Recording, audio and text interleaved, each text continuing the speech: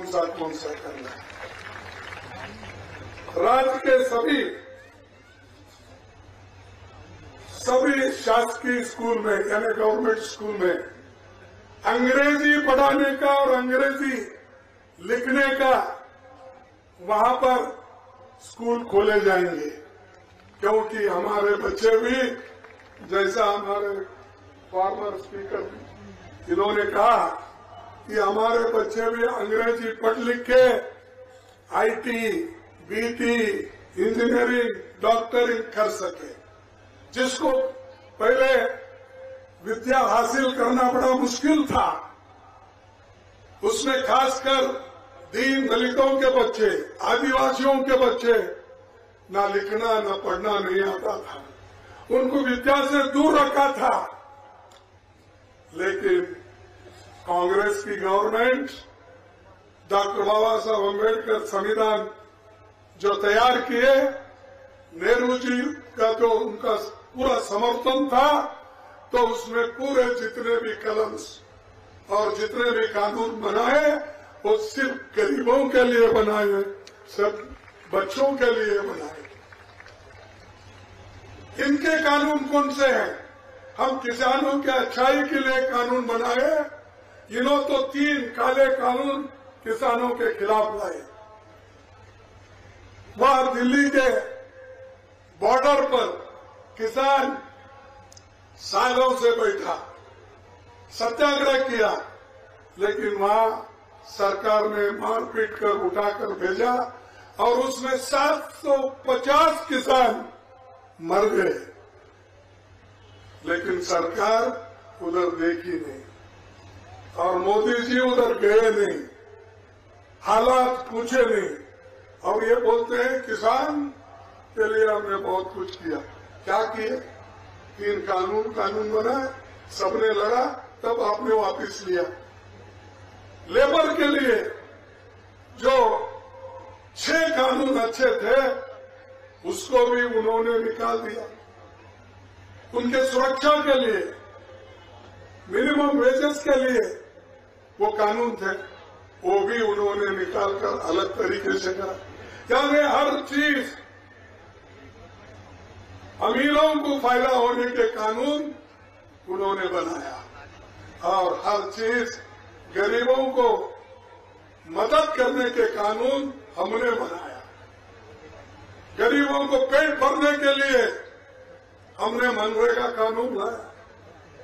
हमारे माँ बहनों को काम दिलाया। के लिए खाना बच्चों को नहीं मिलता, गरीबों को नहीं मिलता। इसीलिए हमने जो है सुरक्षा, दान, अन्न सुरक्षा कानून लाए। हेल्थ के लिए कानून लाए। अब तो इनको बढ़ाकर दस लाख रुपए तक परिवार को कर रहे हैं।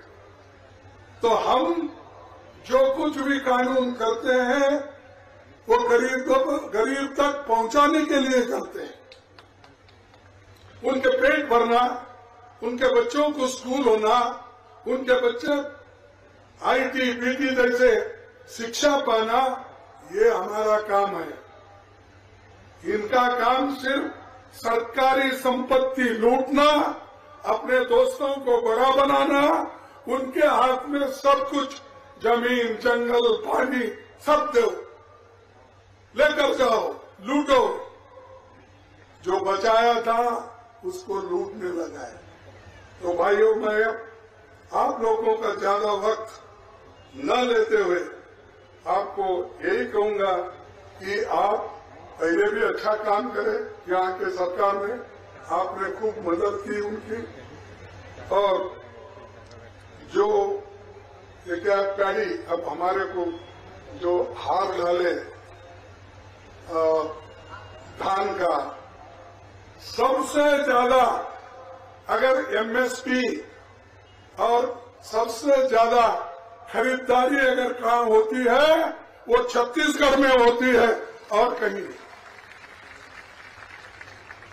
कितना खरीदते हैं क्योंकि किसानों को मदद करने के लिए। लेकिन मोदी मुँह से बोले, मैं तो किसानों का दाम दुप्पट करूँगा डबल करूँगा। कहाँ है भाई डबल पहले भी ऐसा बोले। पंद्रह लाख नौकरी दूँगा। भाई और बहनों, मैं, मेरी हुकूमत अगर आई, आपको पंद्रह पंद्रह लाख रुपए दूँगा। मिला पंद्रह पंद्रह लाख आपको? नहीं मिला? अरे प्राइम मिनिस्टर कैसा झूठ बोलते जी? झूठ बोलते हैं? क्योंकि ये पूछना, बीजेपी के लोगों को, लीडरों को, देखो भाई प्राइम मिनिस्टर तो झूठ नहीं बोलते, लेकिन आपको सबको जो कह रहे हैं, लोग तो कह रहे हैं कि झूठ बोल के। दो दो करोड़ नौकरियाँ हर साल। अब तक तो बीस करोड़ होना चाहिए था। दिए नौकरियाँ किसको मिला है? अरे नौकरियाँ नहीं। काला धन वापिस लाने का बात तो और।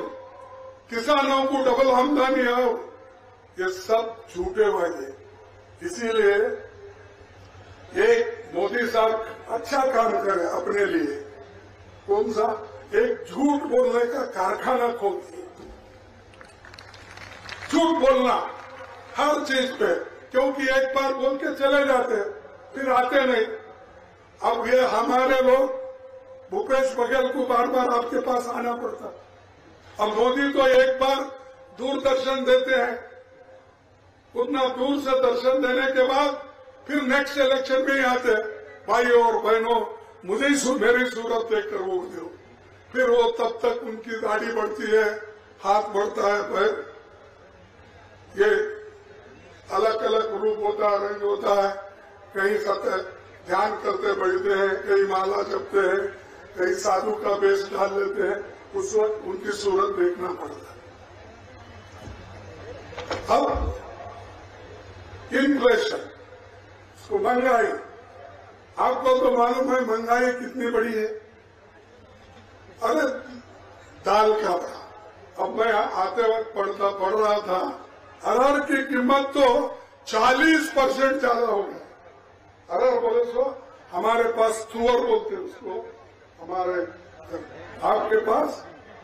अरहर। अरहर, वही। तो वही तुअर की दाल जिसे हम कहते हैं। फोर्टी परसेंट बढ़ गया।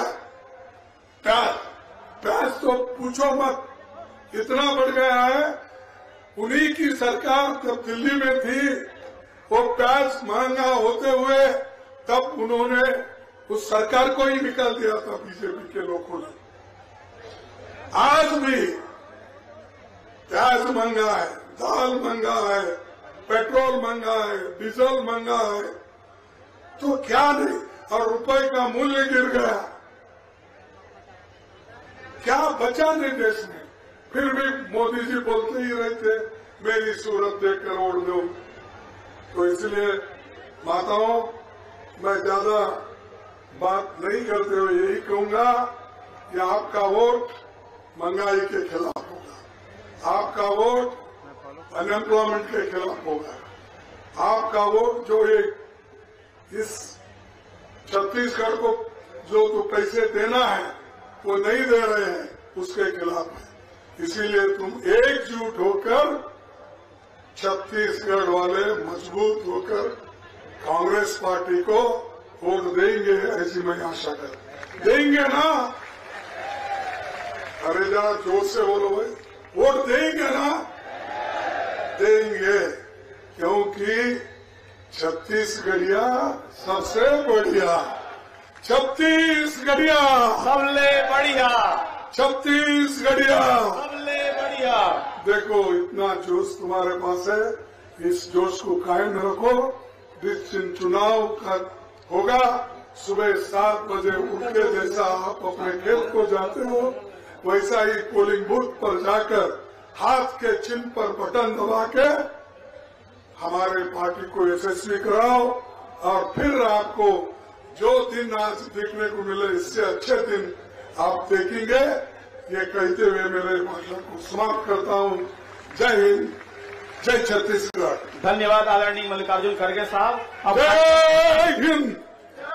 हिंद। जय हिंद। जय हिंद। जय हिंद। जय हिंद। जय कांग्रेस। जय कांग्रेस। धन्यवाद सबको नमस्कार।